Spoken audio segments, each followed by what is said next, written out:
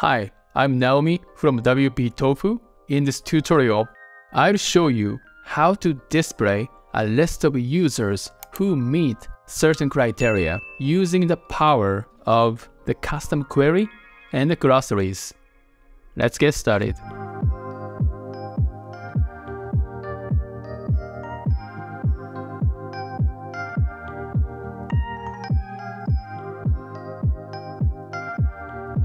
Sometimes you may want to display a specific type of users, like these. And if you can edit user's status like this, and update user, and come back and refresh. So now you see him here as well. Today, we are going to use Jet Engine and Elementor. But actually, we can do this without Elementor. I'll show you that too. So go to Jet Engine and click glossaries. Then click new glossary. Next, let's give a name. Seller rank. Then data source. So here you can set items manually or you can actually upload a file. The file can be CSV or JSON file. I'm not going to go into too detail here. So we'll set this manually. Next, create new field. Field is basically an item in glossary. And we'd like to have two of them. The first one will be seller. And the value is seller. And new field, label is star seller. And the value is star underscore seller. This can be anything, but I'd like to keep this underscore here because it's easier to manage later. And this part is checked so basically, this shows which one is selected by default. I wouldn't check any of that for now and press save. Next, we want to extend the user profile using Jet Engine's Metabox. So go to Metabox and click Add New. And this will be user settings. Then Metabox for user and visibility condition, so visible at. So if you choose just edit user, only admin can edit that. But if you put edit user and profile, then those user can also edit those information. Let's start adding some fields. So new meta field. And here, I'm gonna create user rank. And user rank, object type field is fine. Field type, this is going to be radio. And I don't allow custom one here. And here, get options from the glossary. Click this. Select the glossary, so choose seller rank. And you can just leave it this way. I know there's a vertical and horizontal, but I think this is fine with, uh, yeah, vertical is fine. And description, filled with 100% required yes. And yeah that's it. And i'm going to add several different fields. For example like user profile pictures and location so on. Okay so i added profile picture location and phone let's press add meta box here. Now if you go to users here and let's click this add then go down then you see the user settings and items we just added show up here. So let's fill these out for all users. Okay, I added all this information to all users. Next, what we want is to create a custom query. So go to Jet Engine and go to Query Builder and press Add a New. And the name, you can put whatever you want, but I would put seller rank query. Well, more like maybe seller query. The query type will be user query, user's query. Select miscellaneous tab and you see number, the maximum returned number of results. And this can be set using Jet Engine's listing grid. But this value here will override it. So let's put 6 here.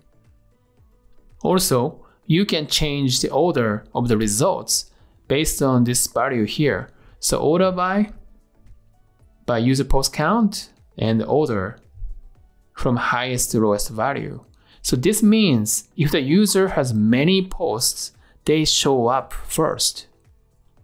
I know because we can't see the results visually, it's hard to know what we're doing here, but you'll see it soon. Next, click Meta Query here and press Add New. So here, what we want to do is to find the key for the seller rank, then make sure only top seller will be shown. To find the key, let's go back to meta box. Here, user rank. So this is the key we're looking for. So user rank. Compare is equal. And now we have to find the value. To find it, you have to go back to glossaries and here, star seller. So star underscore seller.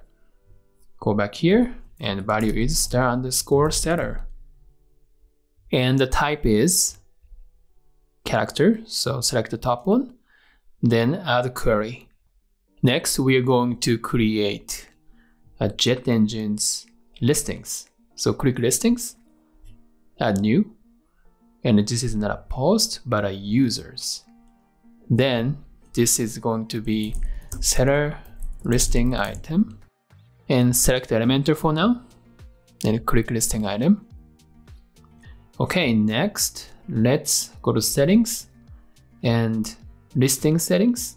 Here you can change this size of this box here because we are going to only make one user section here, one user item I mean.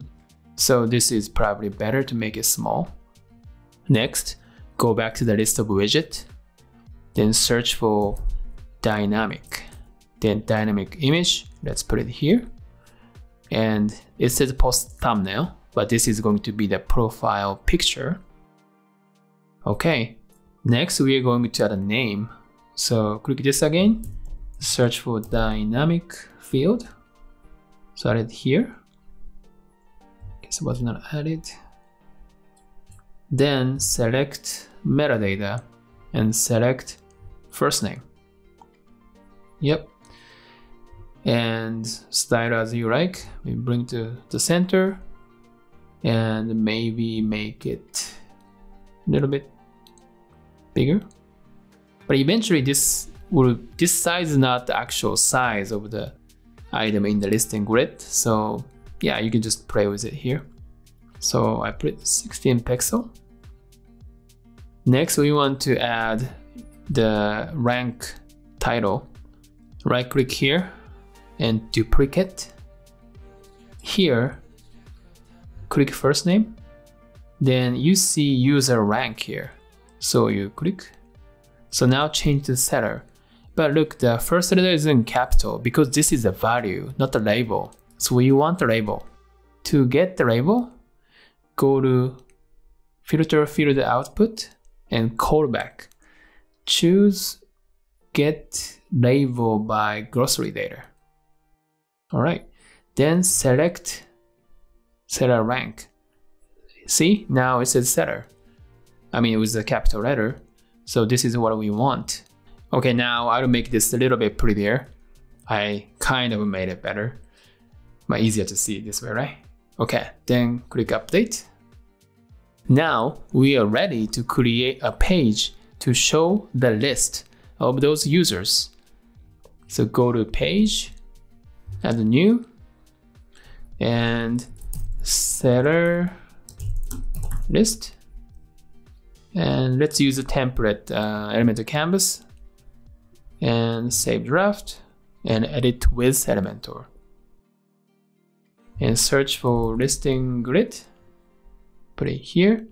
And listings, we just created one, seller listing item. See, now we see these users.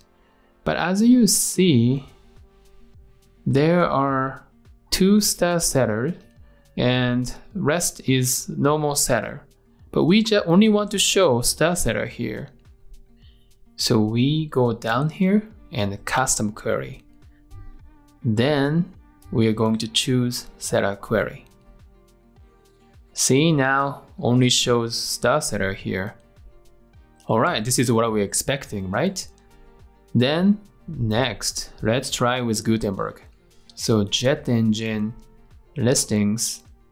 So here, this is Elementor's listing. So add a new. Well, same thing, users. Listing name will be seller listing. Well, item Gutenberg. Then let's select the Gutenberg and create listing item.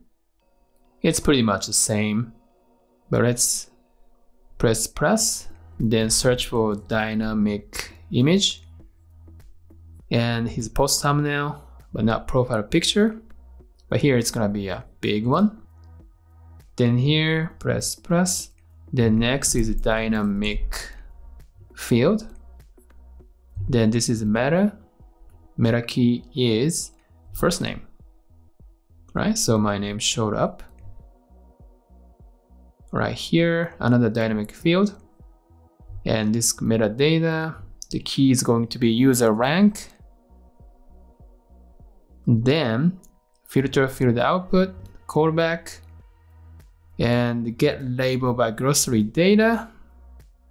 Then glossaries uh, seller rank. See now it's fixed. Okay, so this is all you need, right, for the information. Then click update. So we are going to create a page for Gutenberg as well.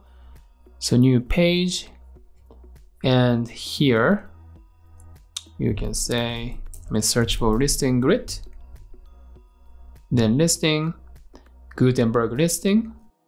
So now you see here, but of course it shows all the sellers as usual. I mean, just like the last time.